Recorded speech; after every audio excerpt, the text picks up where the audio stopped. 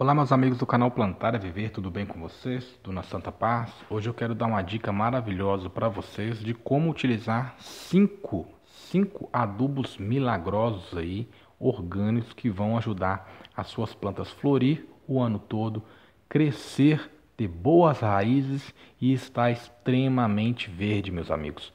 A dica é muito boa. São cinco adubos maravilhosos aí que você vai utilizar na sua casa, que vai trazer muita nutrição para suas plantas.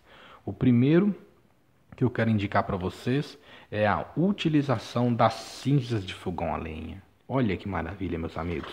Isso aqui é um adubo riquíssimo em nutrição, fósforo, potássio que vai regular o solo das suas plantas, tirando a acidez e ajudando as suas floríferas e frutíferas a frutificar e ter belos frutos. Do meu lado esquerdo eu tenho aqui ó, a farinha de ovo. O que seria isso? Seria a casca de ovo triturada no liquidificador. Olha que maravilha, meus amigos. Você põe aí a casca de ovos para secar durante uma semana, depois você tritura no liquidificador rico em cálcio, muita nutrição em cálcio para sua terra, para o seu pomar, para as suas hortaliças, para as suas orquídeas. Simples e prático, você pode conseguir em casa esse adubo riquíssimo em nutrição, usando aí de uma a três colheres nas suas plantas, meus amigos.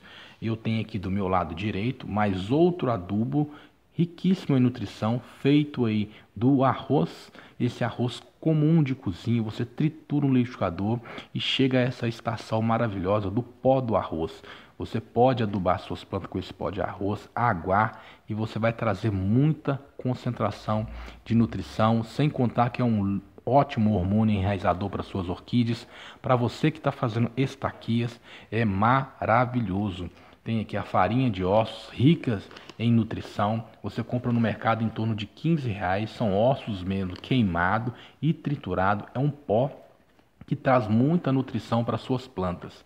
O que tem aqui? Fósforo, muita concentração de fósforo que vai trazer floração para suas orquídeas, para suas frutíferas, frutificação, floração em seguida e consequentemente você vai colher aí belas flores e frutos. Do meu lado esquerdo aqui eu tenho terra vegetal, terra adubada. Essa terra aqui é uma terra marrom, uma terra preta que tem muita concentração aí. Micro e macronutriente, meus amigos. Essa terra já está separada para mostrar para vocês. Tem dois dias. Quando você molha essa terra, essa terra fica toda escura porque já está misturada com humus de minhoca e consequentemente aí vai fazer que a sua planta desenvolva muito melhor. Cinco super hiper megas adubos que eu utilizo aqui orgânicos sem usar nada industrializado que faz as minhas plantas se desenvolver muito bem e você consegue em casa. Temos aqui as cinzas de queimada, você pode pedir para qualquer amigo que tem fogão a lenha. Você tem aqui a casca triturada, que é o pó de casca de ovos. Você tem aqui a, o arroz triturado em pó. Você tem a farinha de ossos, que é extremamente barato. Você pode queimar ossos aí e triturar e adubar suas plantas. E você tem aí a terra vegetal a terra escura, a terra boa, preta, com humus, que vai fazer a sua planta ficar extremamente revigorada o ano todo. É isso aí, meus amigos. O vídeo é breve, prático, ensinando para vocês é a utilização de adubos orgânicos nas suas floríferas, nas suas frutíferas, de forma consciente. Quem gostou desse vídeo, clique em se inscrever, ativa o sininho para nunca perder nossos vídeos, nossas notificações e deixa aquele like para ajudar esse vídeo a chegar a mais pessoas. Um abraço, meus amigos, e fiquem com Deus.